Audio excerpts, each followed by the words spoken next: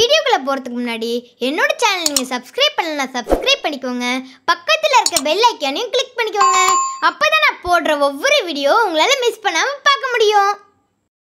Hello friends welcome to my channel today we are going to see a funny story the name of the story is two genius John and David were both patients in a mental hospital. One day, while they were walking, they passed the hospital swimming pool, and John suddenly dove into the deep end.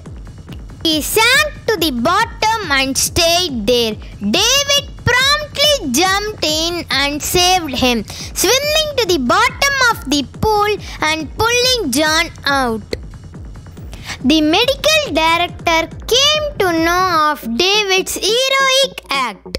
He immediately ordered that David be discharged from the hospital as he now considered him to be okay. The doctor said, David, we have a good news and bad news for you. The good news is that we are going to discharge you because you have regained your sanity.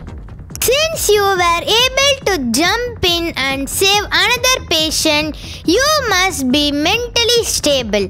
The bad news is that the patient that you saved hung himself in the bathroom and died after all.